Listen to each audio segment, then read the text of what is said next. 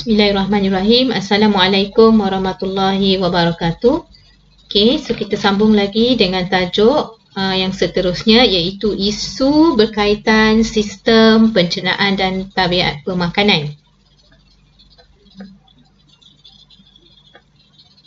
Dan untuk pembelajaran hari ini, standard pembelajaran yang kita nak capai ialah dapat meramalkan kesan mengubah suai organ terhadap kesihatan manusia. Okey, kesan mengubah suai organ. Yang kedua, merangkakan isu-isu kesihatan berkaitan penyatinjaan. Dan yang ketiga, menghubung kaitkan isu kesihatan yang berkaitan dengan tabiat pemakanan. Okey, so uh, ingat lagi tak kita ada bincang tentang uh, pengubah suaian bahagian perut. Eh? Kita ada buat apa ni? Kita bincang tentang pembedahan bariatrik baru ni. So uh, salah satunya ialah tak, apa ni cara kita mengurangkan masalah obesiti kan. Okay, so obesiti ni kalau kita ikutkan uh, dia boleh dikawal eh? ramai orang kontrol diet so itu ialah pengurusan diet yang kedua uh, dengan mengad, menjal, apa, melakukan senaman rutin okay? dan juga yang ketiga ni uh, melalui prosedur pembedahan so uh, kesan untuk pengubah suaian organ ni lah eh, melalui pembedahan ni uh, uh, ada kesan yang tak elok lah. Okay. Contohnya uh, prosedur pembedahan pintasan gaster di mana perut kita ni dipotong eh, melibatkan pengecilan saiz perut menggunakan kaedah pembe- pembedahan. Ada pelbagai kaedah pembedahan yang kita dah bincang sebelum ni. Salah satunya kita katakan uh, ialah pin, pe, apa, pintasan gaster. Eh? So saiz perut yang normal ialah besar ni. Ini ialah perut manusia yang normal. Okay, so biasanya makanan tu akan disimpan dalam perut lah dalam 2-3 jam macam tu. Okay, so um, untuk mengecilkan saiz perut ni contohnya Okay, pintasan gaster ni dibuat iaitu dia potong ke bahagian ni dengan bahagian ni. Okay, potong dan uh, kita sambungkan, kita buat satu laluan yang baru untuk makanan tu iaitu daripada esophagus. Ni esophagus terus sambung ke uh, jejunum.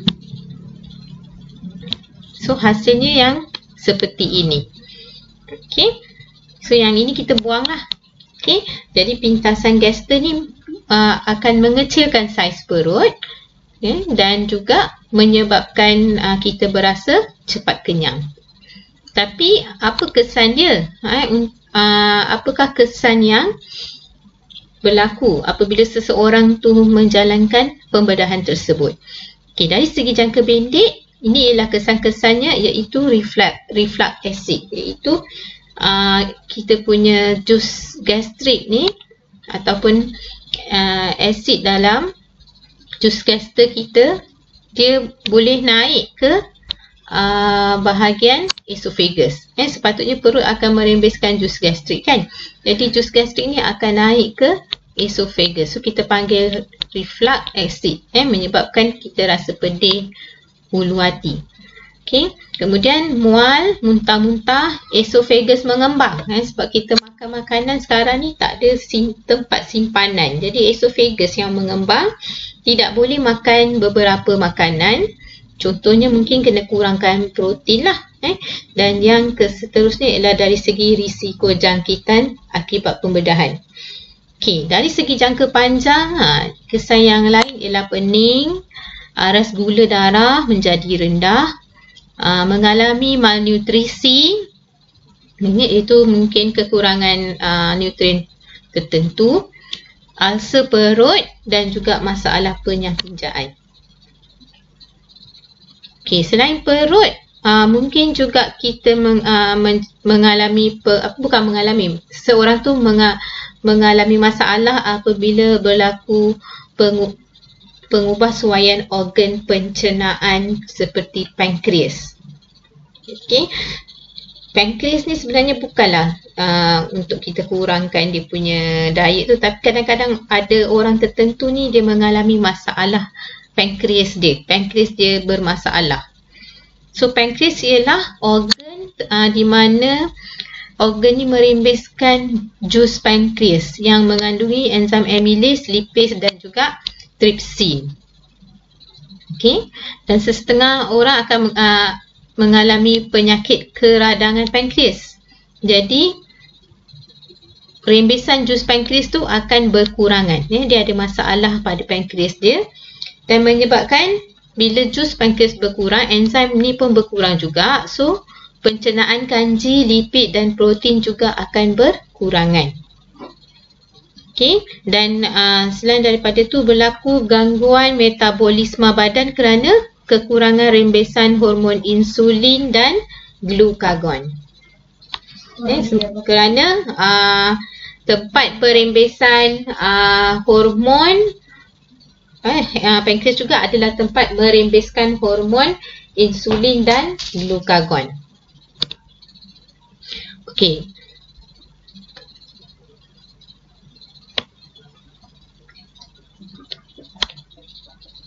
Dan yang ketiga ialah pengubah suaian organ hempedu, eh, pundi hempedu. So biasa kita dengar penyakit uh, batu hempedu. Ni ialah pundi hempedu di mana kadang-kadang terbentuknya batu hempedu dekat dalam pundi hempedu. So bila uh, kita makan lemak selalunya uh, pundi hempedu akan merembeskan uh, jus hempedu untuk membantu dalam pencernaan lemak. Okay, so jus hempedu tu akan dirembeskan ke dalam duodenum.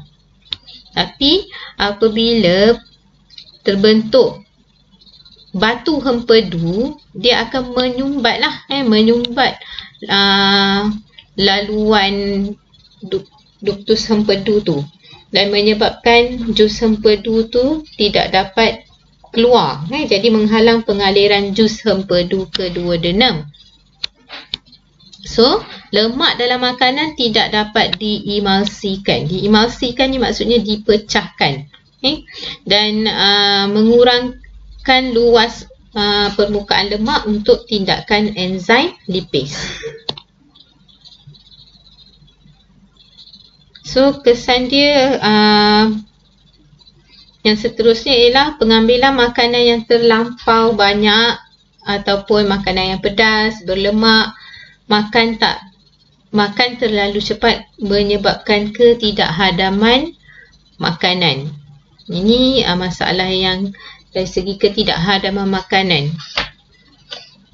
Okey, kenapa boleh berlaku? Kerana kita makan banyak sangat atau makan makanan pedas sangat, eh, berlemak.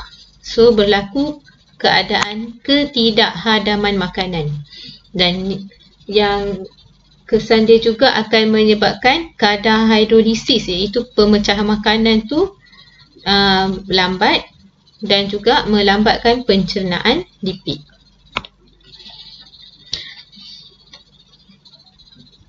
Okey.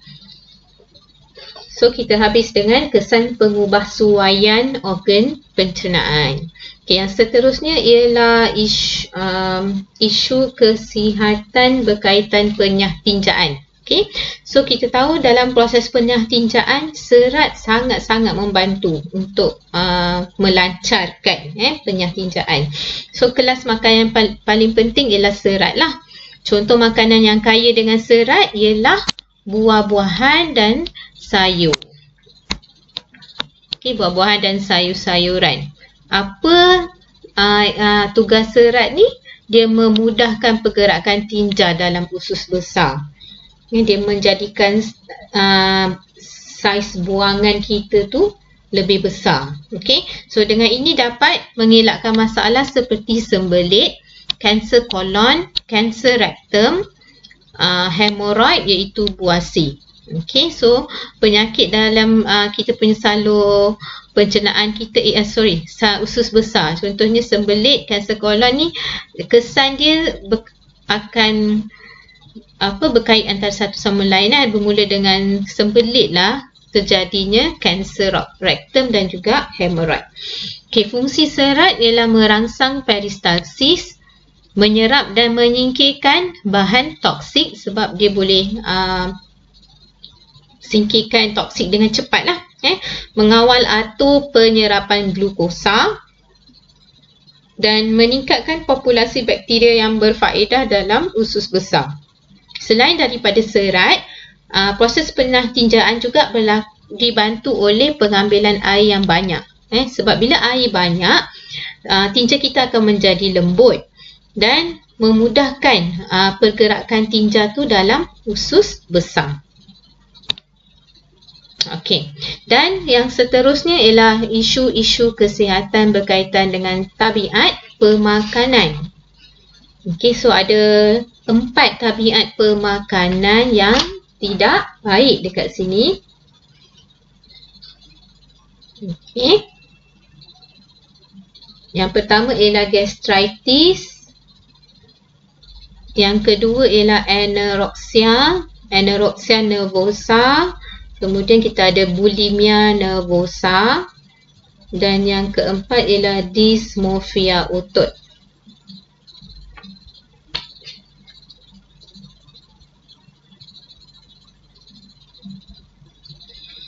Okey, apa dia gastritis atau gastrik eh? So gastritis ni merujuk kepada keradangan atau kakisan. Macam ulcer lah eh. Lapisan epitelium perut oleh jus gaster apabila tiada makanan dalam perut. Jadi kenapa berlakunya gastrik ni? uh, gastritis ni yang tak dirawat akan menyebabkan ulcer perut. So punca dia ialah makan pada masa yang tidak tetap. Sebab jus gastrik kita dirembeskan pada masa-masa yang tetap. Tapi uh, kita tak makan. Jadi jus gastrik tu akan mengkakis per, uh, dinding perut. Yang kedua, kuantiti makanan diambil berbeza-beza. Pengambilan alkohol atau ubat penahan sakit yang berlebihan dan yang keempat ialah stres. Okey. Yang ini ialah anorexia nervosa. Okey, satu keadaan uh, penyakit di mana lazim berlaku di kalangan remaja perempuan yang sangat mementingkan penampilan dan tak sup dengan berat badan dia. Okey. So, uh, Biasanya penghidap anorexia ni dia tak nak makan lah. Eh. Dia akan elakkan diri dari mengambil makanan untuk mencapai berat badan yang diidamkan. Okay. So dari segi ha, ni dia sebenarnya menghadapi masalah psikologi dan selain daripada tu disebabkan dia tak makan dia akan mengalami kekurangan nutrien Okey dan juga gangguan uh, fisiologi dalam badan dia iaitu proses-proses dalam badan dia contohnya ialah kita head. Okey, satu lagi ialah bulimia nervosa. Okey. Bulimia ni juga dia tak sup, eh tak sup dengan uh, badan dia nak nak kontrol lah berat badan dia. Tapi cara dia berbeza. Sebab yang ini dia me, apa penghidap ni akan makan dengan banyak tapi kemudian dia muntahkan semula ataupun dia mengambil ubat laksatif untuk menyebabkan dia cirit-birit. Okey. Dan jika ianya berterusan, penghidap bulimia ni akan mengalami penyahidratan, masalah nutrisi, penyakit kardiovaskular, kerosakan ginjal dan juga uh,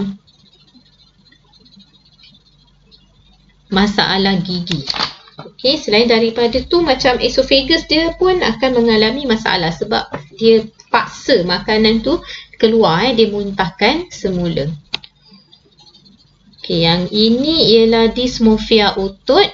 Individu merasakan dirinya bersaiz kecil dan tidak cukup pertumbuhan. So mungkin uh, ini banyak kepada lelaki agaknya kan. Jadi maka mereka akan mengamalkan berat badan, eh sorry, mengamalkan angkat berat, menjalani latihan lasak dan bersenam secara berlebihan. Okay. So kadang-kadang mereka akan mengambil steroid atau suplemen uh, suplemen untuk membina otot. Okay. So isu ni dikenali sebagai uh, dysmorphia otot. Okay. Yang tadi uh, berkaitan dengan tabiat pemakanan yang lain contohnya ialah diabetes jenis 2 eh diabetes type 2 obesity reflux acid dan pica. Okey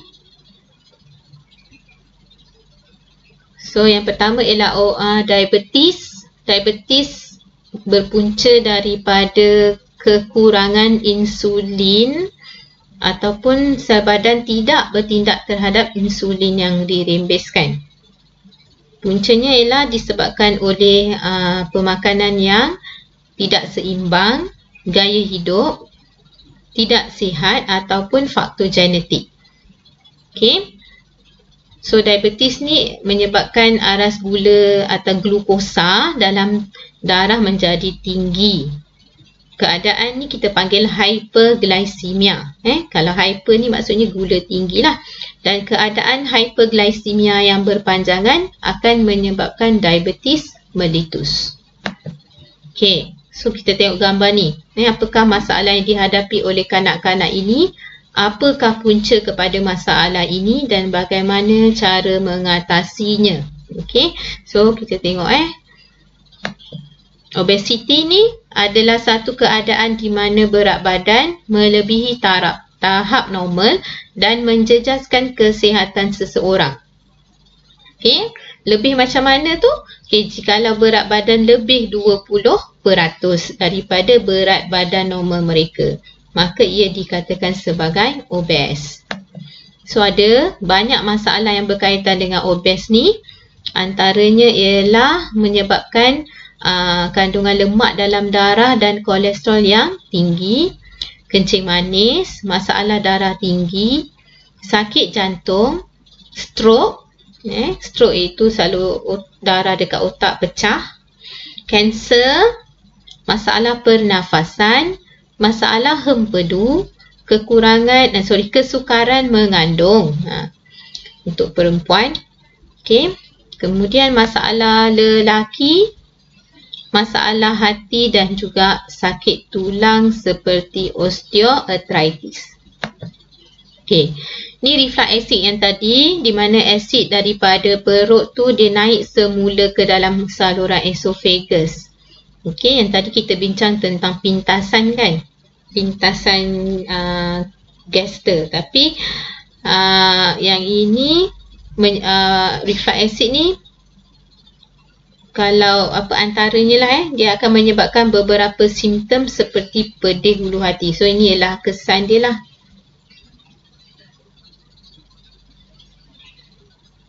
Ha, so yang tadi dia uh, melakukan pintasan gaster tapi ini kalau yang tak tak buat pun dia mengalami juga maksudnya dia ada masalah pada otot sphincter dekat bahagian bawah esophagus tu. Eh so kita tengok dah tadi gambar esophagus lepas tu ada perut kan? Ha, so dekat sini dekat sini ni ada bahagian di mana uh, pembukaan kepada perut tu dia mengecut. Maksudnya selalu kat sini ni sebenarnya mengecut mengecil. Ini supaya apabila kita hadamkan makanan eh, perut ni dia mencernakan makanan makanan tu tak naik ke atas. Tapi uh, sphincter ni mungkin mengalami masalah eh. Otot sphincter tu mengalami masalah. Dia tidak ter, tertutup sepenuhnya tidak mengecut sepenuhnya. So perlu diketahui apabila makanan sampai di bahagian perut otot sphincter bahagian bawah akan mengecut untuk mengelakkan makanan dalam perut masuk ke dalam esophagus semula masa. Okay. So oleh itu apabila otot ini mempunyai masalah, ia akan menyebabkan makanan di bahagian dalam perut boleh naik ke atas semula dan menyebabkan keradangan di bahagian esophagus. Okay. Asid dalam perut tersebut akan menyebabkan keradangan dekat bahagian esophagus dan perkara ini akan menyebabkan simptom-simptom seperti sakit dada dan sesak nafas. So selalunya kalau orang yang mengalami masalah reflux acid ni dia akan ambil uh, Gaviscon. Eh. Gaviscon tu dapat mengurangkan rasa pedih hati tu. Ha, ni ialah esophagus. So ada uh, otot sphincter dekat sini. Sebenarnya ada dua. Satu dekat bahagian atas perut, satu lagi dekat bahagian bawah uh, perut tu. Eh, sebab bila proses fizikal eh. Dia ada satu proses fizikal di mana makanan tu dicerna dipecahkan oleh pergerakan otot perut tu. So uh, dia tak nak uh, apa ni makanan tu terkeluar ataupun naik atas semula. So ada pengecutan otot dekat bahagian uh, atas dan bawah perut. Okey yang ini uh, agak pelik sikit lah eh. So pika atau paika eh. Paika ni adalah satu gangguan psikologi bagi individu yang berselera untuk makan bahan yang uh, tidak berhasiat atau yang berbahaya. Contohnya uh, makan ais. okay. So ada uh, nama-nama dia ni ya. Ais kita panggil pagophagia. Ada yang suka makan rambut itu ialah trichophagia. Eh, kalau kita rambut ni masuk dalam makanan pun kita buang kan. Ha, ini dia makan rambut. Ada yang suka makan kertas. Kertas xylophagia. Cat-cat ha, ataupun objek tajam acuphagia. Logam metalophagia. Okay batu lithofagia. Ha, contohnya gambar ni, aa, ah, gambar yang kedua ni dia makan batu. Okey, tanah geophagia, kaca hyalophagia. Oh, makan najis pun ada. Okey. So, aa, ah, yang gambar yang pertama ni dia makan bedak talcum tu. Ha, okey. So, tak tahulah apa nama dia. Okey. So, aa, ini consider satu masalah psikologi lah eh? Masalah psikologi dan kalau kita tengok sebenarnya memang bahayalah okey? Sebab makanan tu tak satu tak berhasiat satu lagi berbahaya. Okey bahan yang dimakan mungkin mengandungi bahan yang toksik menyebabkan kerosakan otak dan kematian. Bahan makanan tersebut tak berhasiat tidak mengandungi nutrien. Bahan yang dimakan tidak dapat dicernakan dan uh, boleh menyebabkan penyumbatan salur pencernaan. Ada yang makan paku, ada yang makan kaca. Ha, tu yang kita panggil paika. Dan bahan yang dimakan mungkin mengandungi bakteria atau parasit yang boleh menyebabkan jangkitan. So, yang seterusnya cikgu nak uh, baca jawab eh, soalan tugasan uji minda 19 sebagai kerja. Ini kita nak tengok contoh soalan, satu contoh soalan yang boleh keluar esei. Ha, ini memang contoh esei SPM 2009, rajah 1.1, 1.2 dan 1.3 menunjukkan keadaan fizikal tiga orang yang berkaitan dengan tabiat makanan pemakanan mereka. So yang pertama naik basikal ni. Ha, orang yang naik basikal ni. Yang kedua keadaan fizikal dia. Kita tengok yang ini normal lah kan. Okay, yang ini nampak macam obesity, yang ini nampak kurus sangat. Okay, so terangkan hubungan antara tabiat makan dengan keadaan fizikal setiap individu itu. Jadi kalau keluar soalan macam ni, okay, cara nak jawab. Okay, 10 markah maksudnya ada 3 gambar, 10 markah, sorry. Eh, 10 markah ni Okey, untuk tiga gambar kita boleh um, budgetkanlah markah tu. Maksudnya satu gambar ni mungkin tiga, tiga, tiga. Dah sembilan lah, tiga point. Eh, tiga point, tiga point, tiga point. So satu point lagi tu daripada mana-mana. Okey, contohnya kat sini kita tengok. Raja satu point satu. Ha, kita terangkanlah. Eh. Raja satu point satu menunjukkan seseorang yang mempunyai bentuk badan yang normal. Okay, jadi tabiat pemakanan dia mengambil gizi yang seimbang, makan makanan yang membekalkan tenaga yang cukup untuk menjalankan aktiviti dan makan makanan yang mengandungi vitamin, mineral yang cukup untuk mengelakkan kesihatan. Okay, so individunya sihat, tak mengalami uh, apa-apa penyakit macam itulah, maksudnya normal. Tapi kalau yang kedua kita lihat tadi, individu tu mengalami berat badan yang berlebihan. Okay, ha, so kat sini biar, uh, macam sinilah markah-markah ataupun point dia. Okay, satu. Yang ini explanation ni. Okay, satu. Kemudian untuk yang berat badan berlebihan ni, jadi kita boleh explain lah individu tersebut makan secara berlebihan. Eh, makan makanan yang kaya dengan lipid dan karbohidrat, tidak bersenam dan tidak aktif. Ha, kalau kita tengok kat sini dia duduk asyik main game macam kan. Ha, so, maksudnya dia menjalankan uh, kehidupan yang tidak aktif. Dan yang ketiga, individu yang terlalu kurus, berat badan yang sangat rendah, dia mengalami malnutrisi, individu tersebut uh, tidak mempunyai uh, apa? tidak mempunyai tenaga untuk menjalankan aktiviti harian. So, apakah tabiat pemakanan dia? Dia mengelak dari mengambil makanan. Eh. Contohnya dia adalah anorexia. Hilang selera makan dan individu juga mengalami masalah psikologi dia iaitu takut gemuk. Okay, so daripada poin-poin ni kita boleh dapat 10 markah. Okay, so sekian saja untuk tajuk uh, dalam bab 9. Eh, jadi kita dah habiskan satu bab, bab ni. Okay, so uh, tolong lengkapkan modul bioscore dan uh, jawab eh, soalan yang terdapat dekat dalam modul tersebut. Okay, Assalamualaikum warahmatullahi wabarakatuh.